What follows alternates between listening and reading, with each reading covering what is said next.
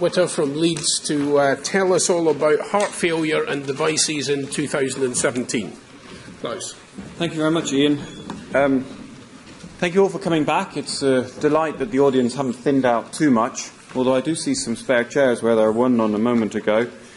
Um, it's great to see a range of people here today, and it's an honour to, um, to be given the opportunity to review the year in 2017. I have deliberately not made this completely comprehensive. I've picked things of interest to me that might be of interest to you and might challenge you a little bit and or challenge me if you ask me the right questions.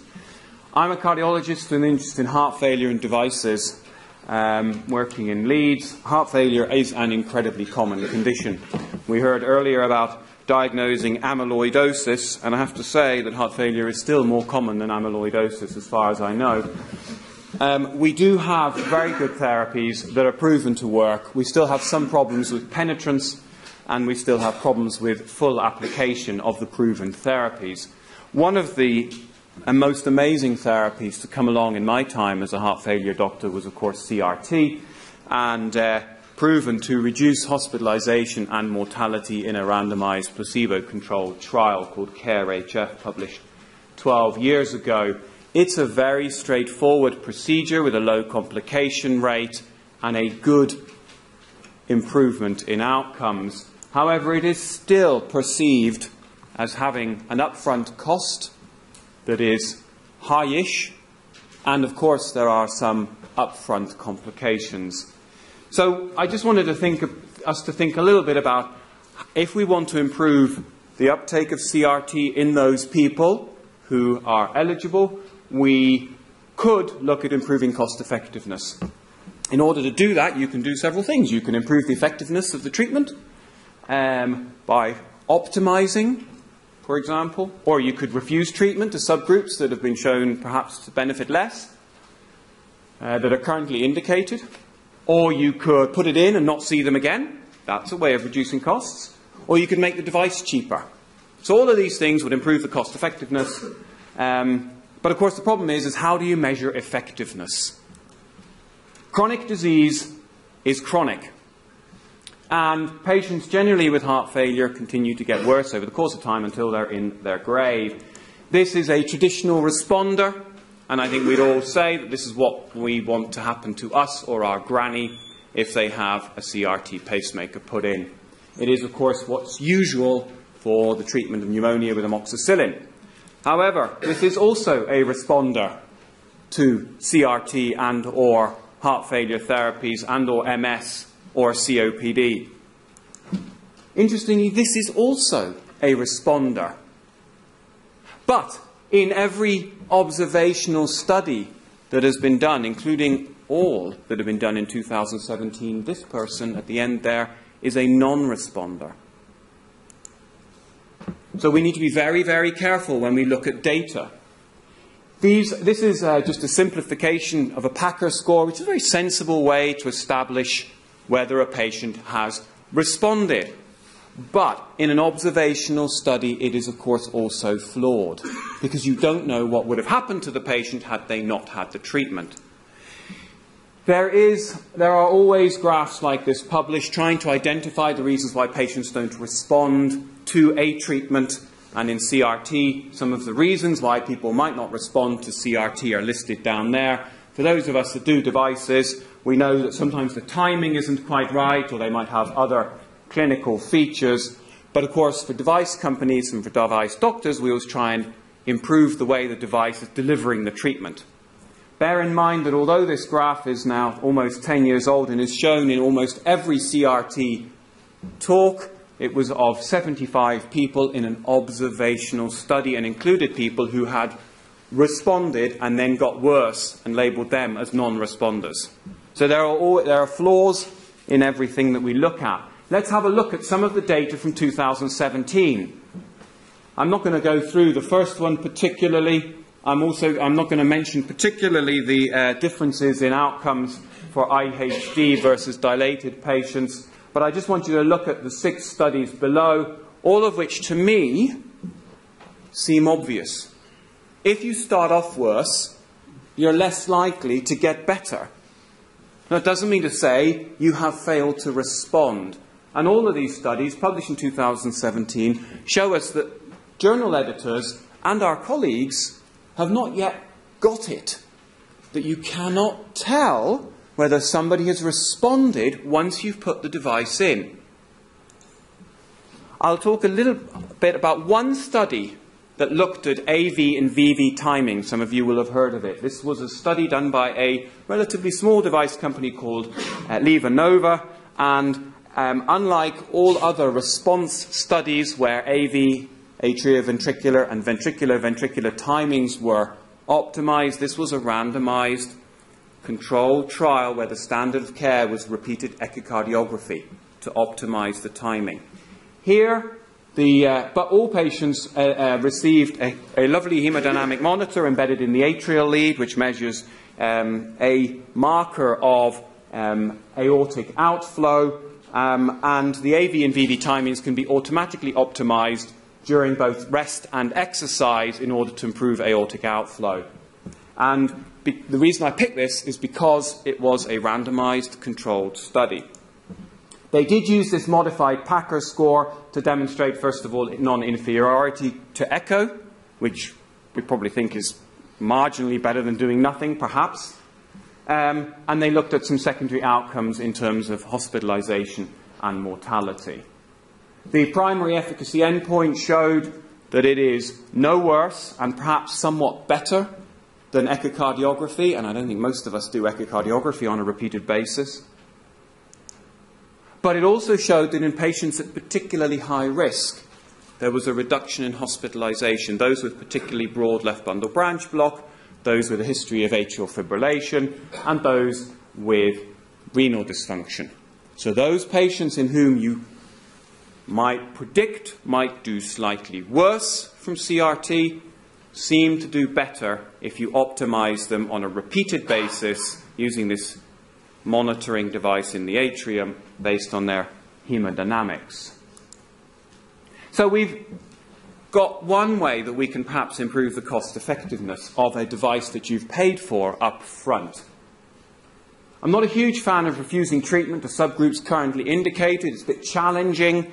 Uh, I'll give you an example. For example, defibrillators are not particularly well proven in the over 75s, and yet NICE is reluctant to recommend that we don't implant ICDs in older people.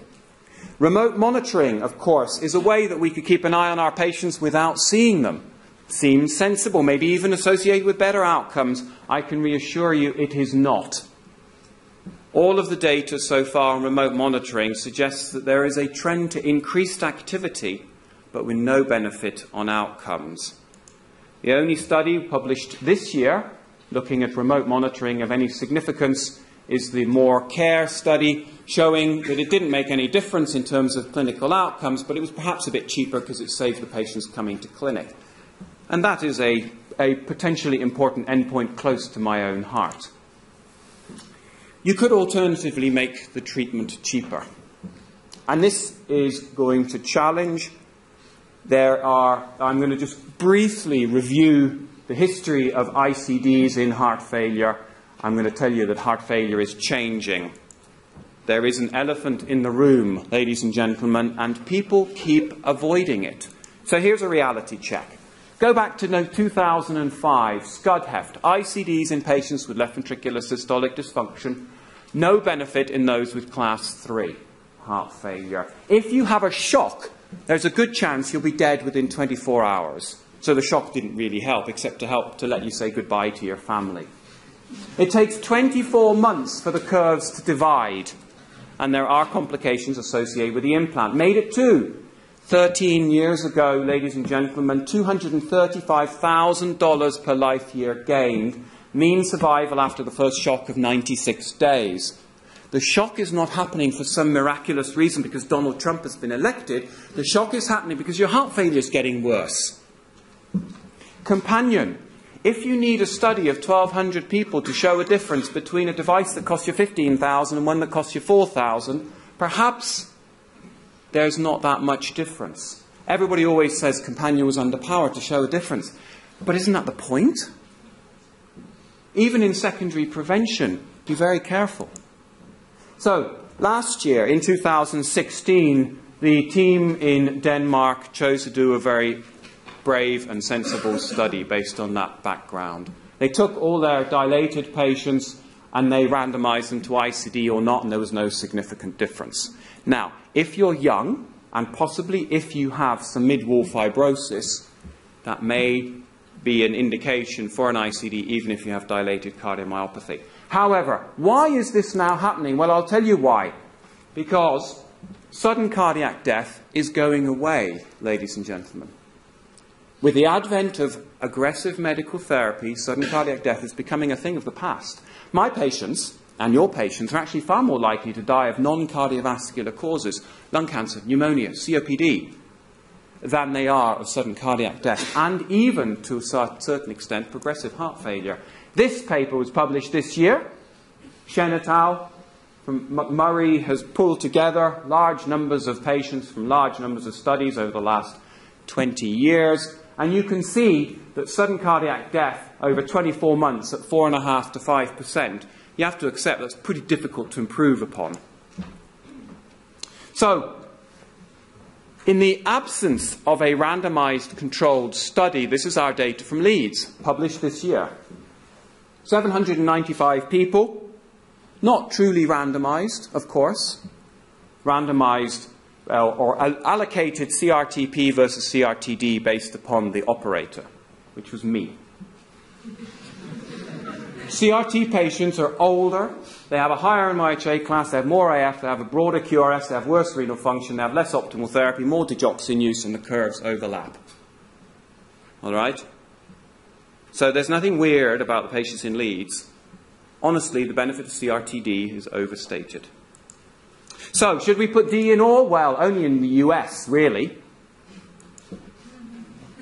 And importantly, our patients also have to be given the choice up front. I tell all my patients that there will come a time where their defibrillator needs to be switched off.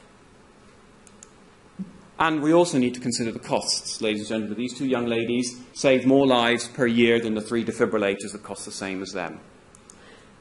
And of course, it's not about the upfront cost of the defibrillator. It's the incremental cost effectiveness ratio compared to CRTP that is what you need to work on. So you can't say, well, the device costs 15 grand, the other device costs 5 grand. It's the incremental cost versus the incremental benefit that is always misquoted. So let's think about some other new stuff. There are electrophysiologists who think that His bundle pacing is the new holy grail. Um, if you can't get the LV lead in, or you have had CRT and you've failed to respond, or you are pacemaker dependent, and as a result of these three things, you have heart failure. His bundle pacing is a promising alternative. There's a website. It's interesting, but I doubt very much whether we're going to be doing this for our complete heart block patients. I suspect that there is a fad here, that there are enthusiasts in the room, there are enthusiasts around the world, rather like there are enthusiasts for putting a CRT pacemaker into everybody with complete heart block. In an unselected population that's unlikely to be of benefit. There is also this little publication here, um, the WISE CRT. There's a way to upgrade a DDD pacemaker or a DR defibrillator using a grain of rice in your left ventricle and a big transducer that sits under your armpit that can send signals through to it.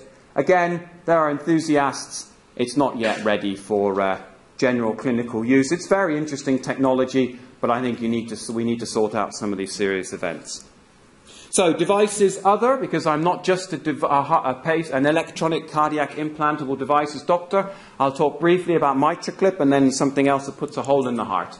Functional MR is very common in patients with heart failure and is associated with worse outcomes. But it is associated also with worse heart failure. So whether it's an independent predictor or merely a marker of an advanced heart failure syndrome is unknown. There are, of course, enthusiasts for tying the mitral leaflets together in some way or reducing the size of the annulus to reduce functional mitral regurgitation. And there are two studies ongoing, but, but a, an explosion in the potential treatments for this. I won't focus on any of these other potential treatments here. I'm going to focus on the two ones that are being investigated. 2018, if I'm invited back, I may be able to tell you the results of both of these studies. The first study is, is around MitraClip. MitraClip is a good treatment for degenerative MR. We don't really know whether it's a good treatment for functional MR. It does cause a little bit of mitral stenosis in some patients and does leave an ASD in some patients. We're waiting for the results of the COAPT study, which will hopefully be published towards the end of 2018. There are other ways of doing it. The Reduce FMR study is in the competitor device, which is an annulus cincher. Dead easy to put in, takes about 35 minutes to do through an internal jugular. Slight problem is that occasionally you can occlude the circumflex artery. This end goes into the top end of the coronary sinus, this goes into the os after you've pulled everything a bit shorter. But if you can get it in and you don't cause circumflex in, uh, impingement, it's a very, very safe procedure. And I always say to my trainees and my colleagues look, if something doesn't work very well but it's cheap and safe, that's not bad. So, other devices. If you, I'm not going to talk much about HFpEF because I don't think anybody really knows what HFpEF is. Again, I said I'd be controversial, right? But if you have HFpEF, in other words, you're breathless and you don't have left ventricular dysfunction and you don't seem to have end stage COPD and you haven't got cancer or anemia, then putting a, a shunt into your atrium, atrial septum is associated with whoopee doo a reduction in your wedge pressure during exercise. I was stunned that this came into Late Breakers 2017 and was all over the uh, online follow up media. It doesn't describe whether the patients got any benefit. It just says the wedge pressure was lower. How does that get into New England Journal of Medicine? I couldn't get an NIHR grant to do that sort of work because they'd say, so what? Are the patients better? Who cares about the wedge pressure? Nobody comes to my clinic saying my wedge pressure is lower. Thank you very much. Outcomes in heart failure. Now, this is one of the most interesting things that I read this year. In 2010, the Americans introduced a hospital re- readmission reductions program. In other words, if you were readmitted 30 days after a discharge from heart failure, your hospital got fined. So, what that actually led for was a reduction in 30 day readmission, but an increase in mortality. Okay? So these findings may, recon- may require reconsideration of this program, published in JAMA Cardiol, not in JAMA. Very interesting. So there's always cynicism and there's always believers, but there's always, we always have to make sure that we check the data. Fake news is everywhere. This is another interesting feature. Stem cells are everywhere. Everybody's investing in stem cells. You can get grants to do stem cells for anything. It's interesting. Stem cells, despite all the work and all the investment, still haven't really gone anywhere. All right? I'm starting to get a little bit worried about stem cells in heart failure. Atrial fibrillation. Again, an amazing study. This was Castle AF. 30% of our patients have atrial fibrillation. So you know, give them a decent dose of beta blocker, a little bit of digoxin, most of them will be just fine. But there are enthusiasts that we should get rid of atrial fibrillation in, uh, in patients with heart failure. We should ablate them, giving them an ASD that in 10% of cases remains. So, does atrial fibrillation ablation work? Well, this was a small study. They screened 3,000 people and enrolled 397 in more than 30 centres. So each centre was doing 10, 12 patients. Bit of a problem there, isn't it? Right, and then they had 37 months follow up and they had an incredible reduction in heart failure. Quite incredible. Almost halving of mortality. Either it's chance or it's incredible, but it certainly shouldn't change what we do at the, mo- at the moment. Remember that a vast number of them were on amiodarone at the outset. And amiodarone is a bad thing, and if you achieve sinus rhythm, you may stop the amiodarone, right? I'll just leave that there. Acute heart failure is a leading cause of hospitalization. Lots of them die and lots of them are readmitted. But the best thing for acute heart failure is a decent slug of IV furosemide and some oxygen.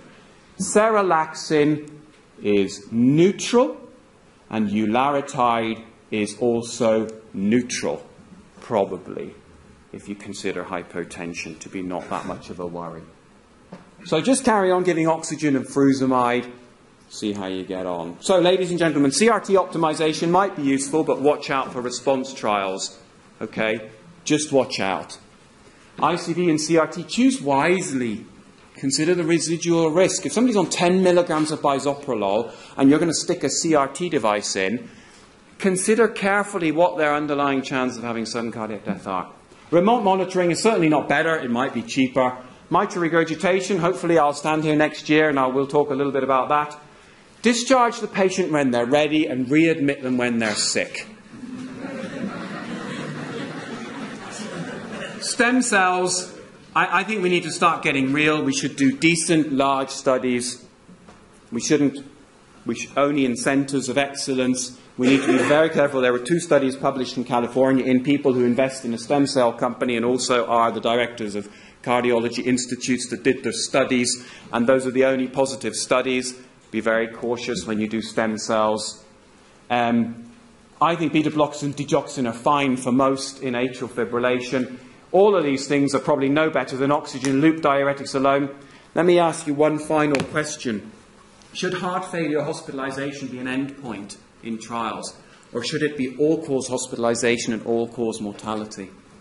I can nail heart failure hospitalization in an instant and give them all diuretics at 120 milligrams BD. They won't come in with heart failure, they'll come in with renal failure. Okay? So if your treatment causes a different problem in a heart failure patient that avoids a heart failure hospitalization but doesn't avoid a different hospitalization, that's not a good treatment. So I make a call that we should design studies about all cause hospitalization, all cause heart failure. Many of our patients, of course, will not necessarily get hospitalized either. They will get treated with palliative care in the community, hopefully with IV diuretics for symptom relief. So, all cause hospitalization, all cause mortality. I'm going to leave it there. Thank you all very much.